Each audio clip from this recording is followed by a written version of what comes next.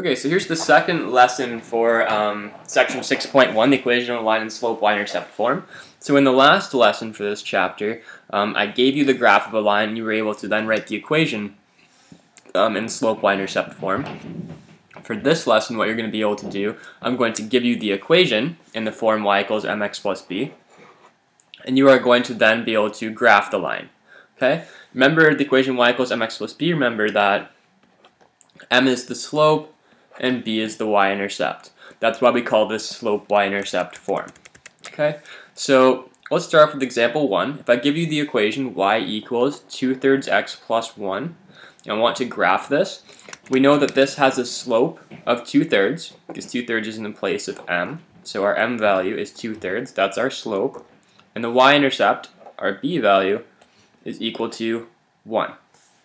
Now, in order to graph this line, um, what you have to do, step number one is to plot your y-intercepts. My y-intercept is 1, that means it crosses the y-axis at 1. So I'm going to plot that point right there. It crosses the y-axis at 1.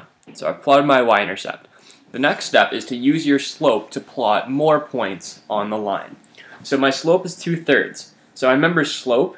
Remember slope is rise over run. That means um, my rise okay, is 2, and my run is 3.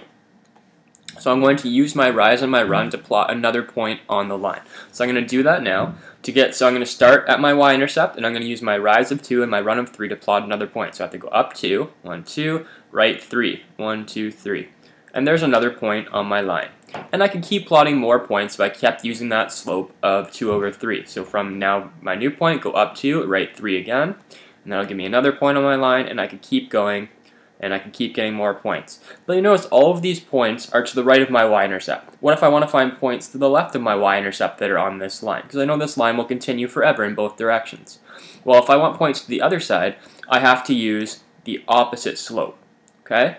So um, to plot points on the other side of the y-intercept. So the opposite of 2 over 3 is negative 2 over negative 3. And keep in mind, 2 divided by 3 has the exact same value as negative 2 over negative 3. Okay, 2 divided by 3 is positive 0.6 repeated. Um, and negative 2 divided by negative 3 has the exact same value of 0.666666, so on. Okay? So these have the exact same value. Um, so I, that's why I'm allowed to use both of them. So a slope of negative 2 over negative 3 has a rise of negative 2 and a run of negative 3. Now I know a rise of negative 2 means I go down 2 from my, so I'll start with my y-intercept again, I'll go down 2 this time, and then a run of negative 3 means go left 3, go left 3, 1, 2, 3, and there's my new point. Okay, so with the slope of 2 over 3, I went up to right 3 to find points to the right. If I want to find points to the other side, do the opposite. Instead of going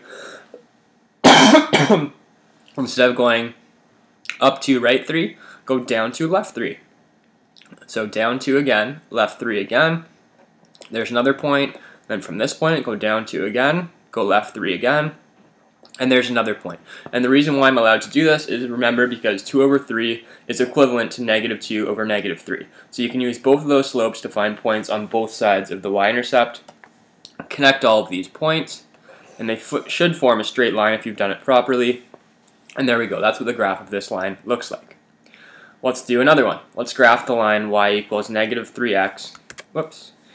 y equals negative 3x minus 5. So my slope, um, remember the equation of the line is y equals mx plus b, so the m value is in front of the x. So my m value is negative 3. And if you don't see it written as a fraction, think of it as negative 3 over 1. But we just write it as negative 3, because negative 3 divided by 1 equals negative 3. But for the sake of being able to easily tell what your rise and your run are, I'm going to write it as a fraction as negative 3 over 1. So negative 3 is my rise, my run is 1. Okay, And now looking at the equation, my y-intercept is negative 5, so my b value is negative 5. Step number 1 when graphing is to plot your y-intercept, so it crosses the y-axis at negative 5. And then from here, use your slope to plot more points on this line. So um, I'm going to first plot points to the right by using my slope of negative 3 over 1. So rise negative 3, that mean go, means go down 3 from my y-intercept. 1, 2, 3, and then go right 1. A run of 1 means to go to, run of positive 1 means to go to the right 1. And there's another point. Now if I want to find um, points to the other side of my y-intercept, I have to use the opposite slope. Okay, so the opposite of negative 3 over 1, so going down 3, right 1, would be going up 3, left 1. So up 3, start from your y-intercept again, go up 3, 1, 2, 3, and left 1. Okay, and then continue doing that.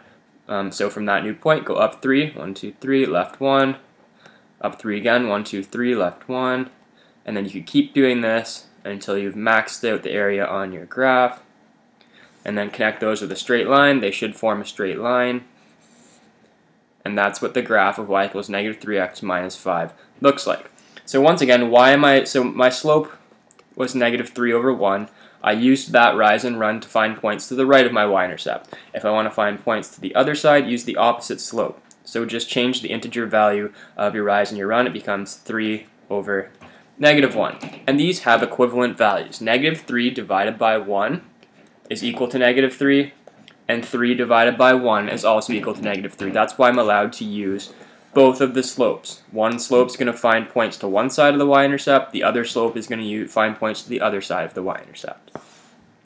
Okay, now we're going to do some more work with um, horizontal and vertical lines just to make sure you have this down. We did a bit, bit with this last section of this chapter, or last part of this section, and we'll do some more of this section.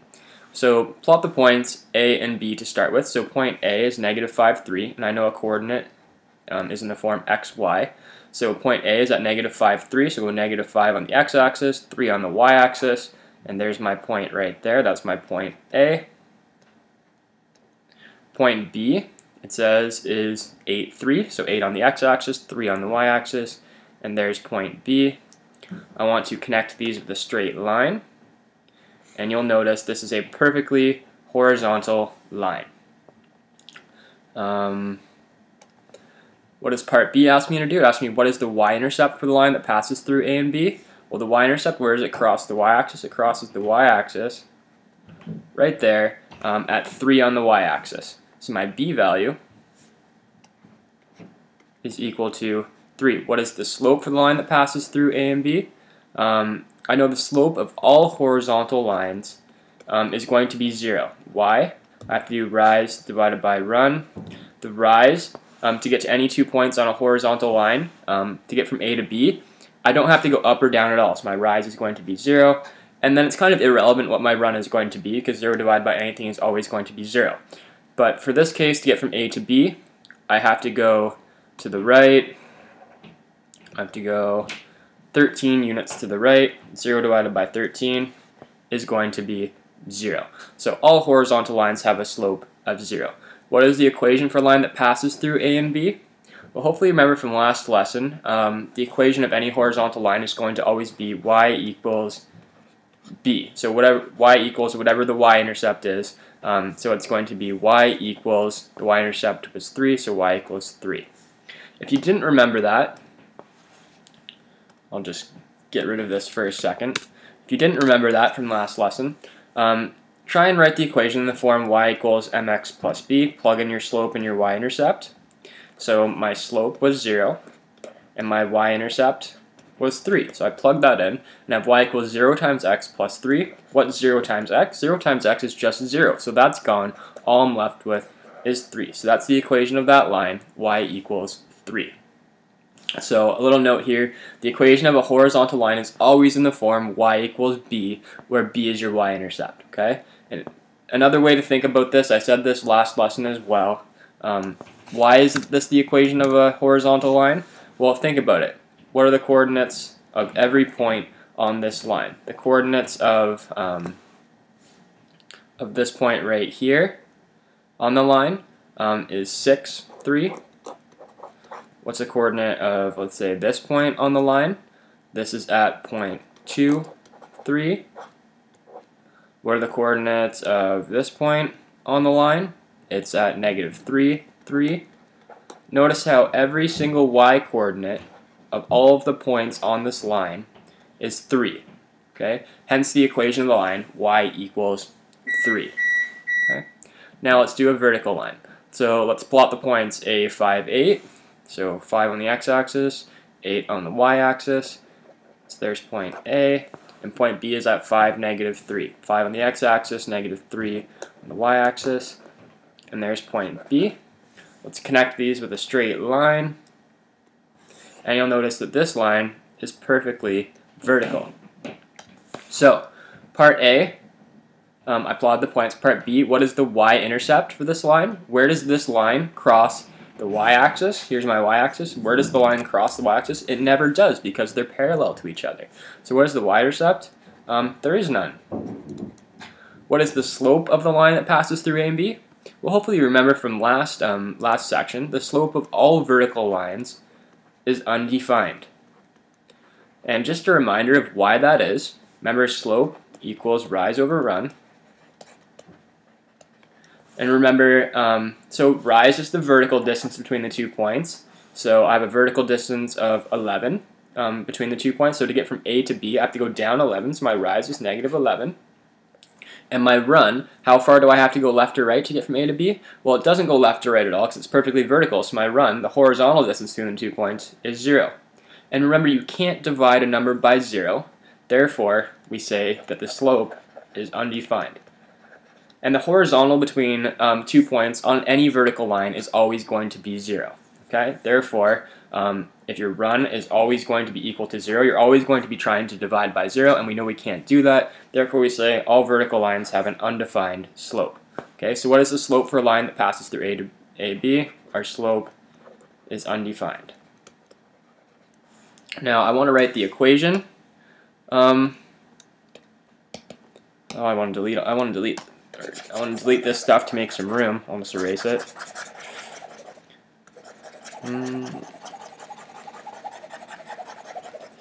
Sorry, this is taking a little while. Almost done. Alright, this is good enough.